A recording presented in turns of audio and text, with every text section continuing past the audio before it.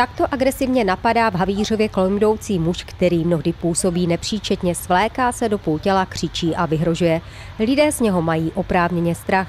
Minulý týden se takto choval i v obchodě na dlouhé třídě, když mu prodavačka nedala bagetu bez zaplacení. Začal být agresivní a e, zautočil na takové ochranné plexisklo, které tady bylo, které, které se tím jeho úderem rozbilo.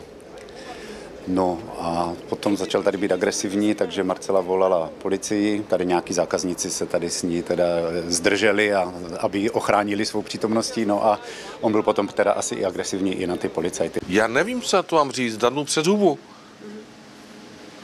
Má tady být chlap a ne ženy? Tak já si vás najmu jako ochranku. Není problém. Jo?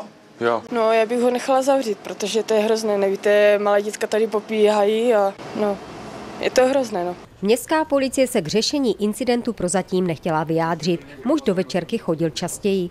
Policie mi neřekla nic. Nebyla tady ani státní městská, mě tady prej teda scháněla, ale chtějí pravděpodobně jenom vyšší škody, která nám byla způsobena asi rozbitím toho to, toho plexiskla. Chápu, že on se asi trestného činu nedopustil, oni nám tady před dveřmi stát nebudou, aby nás chránili, to je jasná věc takže asi se s tím nebude dát nic dělat. No. Prostě pracuje se podle zákonu. Já mám osobní zkušenost, že si tady koupí nějakou vodu čistou, za rohem tady si nějak, nějakým stylem si ředí nějak ty drogy a osobně jsem mu viděl, jak si tady pícha přímo před obchodem, před lidma, před zákazníkama, před maminkou s dítětem, jak si pícha do žíly nějakou látku. Dotyčný agresor se ve večerce prozatím znova neukázal. Podle našich informací by měl být v psychiatrické léčebně.